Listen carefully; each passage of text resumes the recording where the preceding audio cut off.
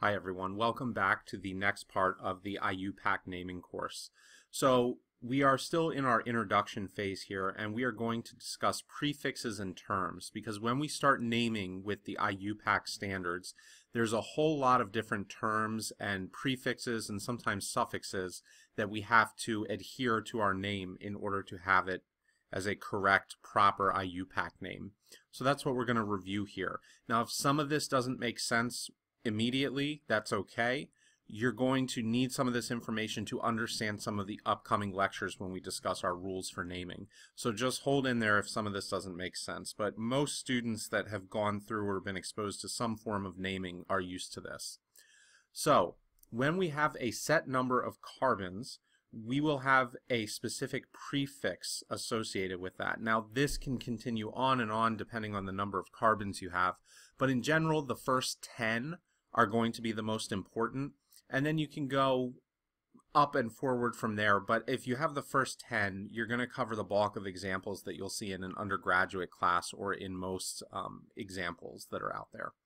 So what I have here is a table. And this table tells you the number of carbons and then the prefix that is associated with the parent chain if you are to have that number of carbons as your parent chain. So most people know of the term methane, which is the gas that would be released when we have sort of agricultural sort of stuff when we talk about cows.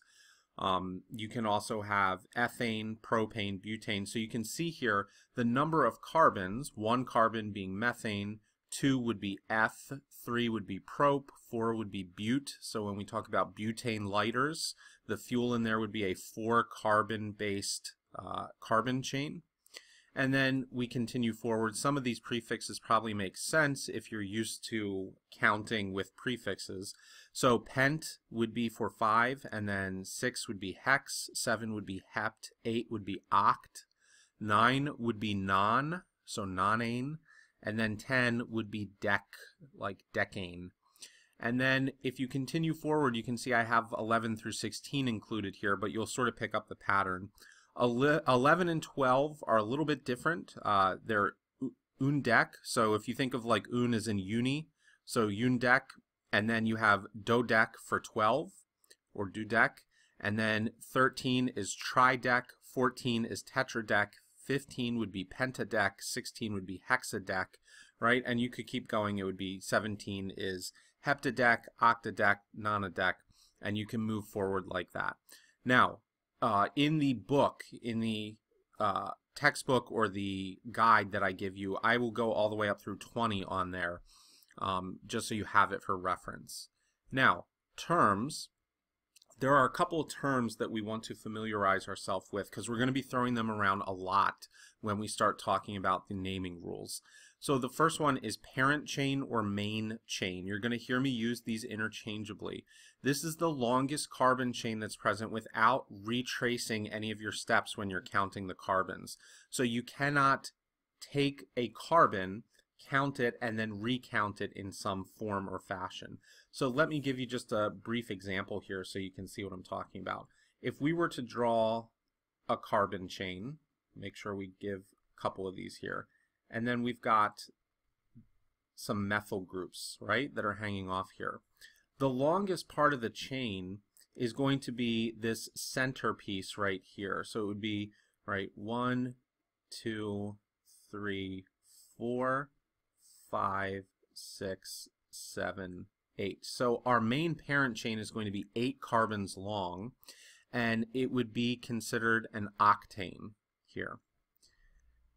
Now what's important is I could not count this by saying here's one, two, three, four, and then come up here to this methyl and say five, and then come back down and say six, because I already counted this carbon as four.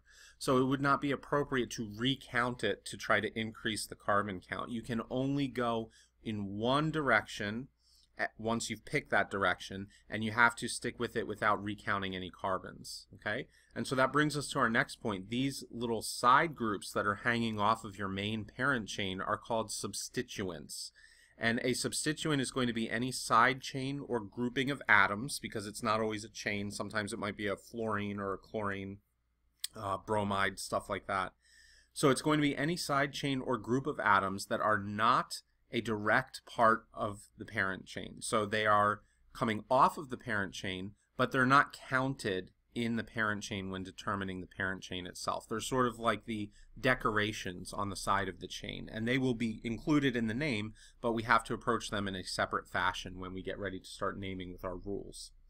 And then finally, you're going to hear me talk about branched chain, especially as we get further into uh, the course here. You're going to hear this term fairly often. And this is a substituent that consists of branching or splitting carbon patterns as opposed to a linear side chain or group, right? So again, if we take a look at a brief example here, if I just create a long parent carbon chain here, if I had, let's say, an ethyl group coming off of position 4 here, Okay, that would just be a regular straight chain. I know there's bends in it, but as far as uh, chemical perspective, right, it's just going from one carbon to the next to the next to the next. There's no real splitting pattern. But what I'll do now is over here in position 6, I'm going to draw an isopropyl group.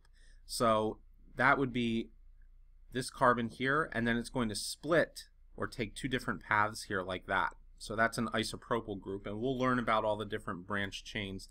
But this grouping right here would be referred to as a branched side chain because it doesn't just take a linear path. If it was taking a linear path, right, this would have just gone on for another carbon here, and we would have called that propyl instead of isopropyl, which is giving it that split.